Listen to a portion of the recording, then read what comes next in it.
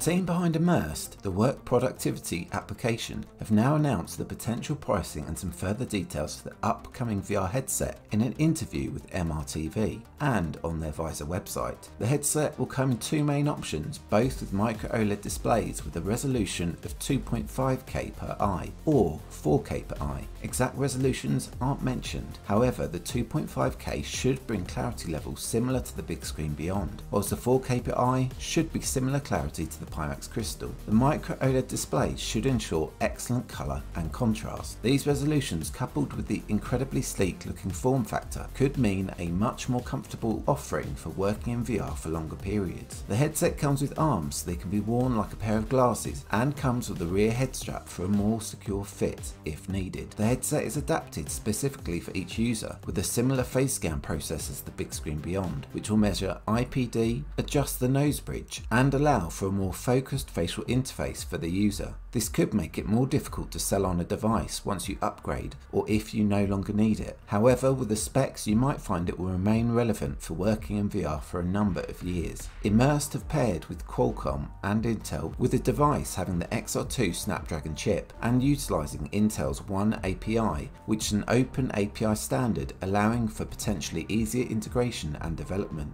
The device has an external battery which will need to be connected to the visor when in use, so it isn't completely wireless. However, this will help take components and weight off of the headset. The visor has the capability of being connected to your PC by a cable from the battery or wirelessly and works with Windows, Macs and Linux. The cable connectivity hasn't quite been clarified. Currently Immersed utilises connection over Wi-Fi or USB protocol and not DisplayPort, meaning any content is compressed then uncompressed at the headset. This could mean if the headset does end up being connected to PC over USB and being usable for gaming, then it will experience compression artifacts, which will mean it won't be as clear as the picture with the Pimax Crystal over its DisplayPort cable. It has been stated that it has full colour pass-through at a level of detail above what is currently available, so I'd expect it to be sharp on the Quest Pro or Pico 4, but it isn't known how it will compare to the Quest 3. It has 6 degrees of freedom and has hand tracking, and as previously advertised,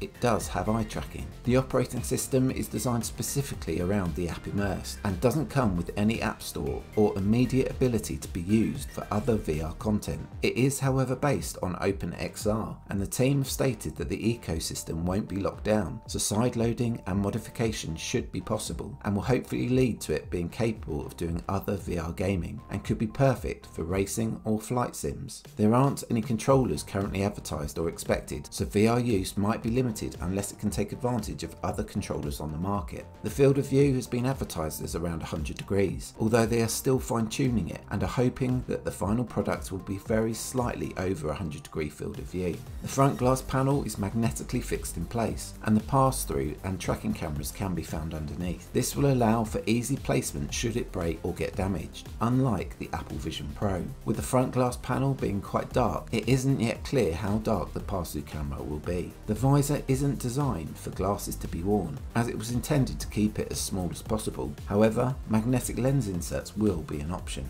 I'd almost decided not to consider the visor option following my use of the Xreal Airs, as I just expected the visor headset to be priced incredibly high. I was pleasantly surprised though. Initial pricing has been announced at 499 US dollars for the 2.5K resolution, or 750 US dollars for the 4K model. There is the potential that the price will change as the device gets nearer to the final product. However, it has been said that these prices might be the likely final cost. Shipping is to take place in 2024, and although exact dates cannot be confirmed, the Immersed team have announced a third option, a limited edition version which will have a slightly different coloured glass and lifetime access to their Pro tier of software, along with a couple of other features. Any user going for this Founders Edition will also receive it 6 months before other 4K users. This limited edition version comes in at 999 US dollars for the first two weeks, after which it will be 1249 US dollars. So if you want the 4K option as soon as possible, then the limited edition option, of which there are 25,000 units, may be the option for you. Although I understand this is still a lot of money, considering its potential, it is a far more reasonable offering if you intend to use it for work when compared to the Apple Vision Pro or other available devices, and its features and VR use options may expand rapidly once in the hands of modders.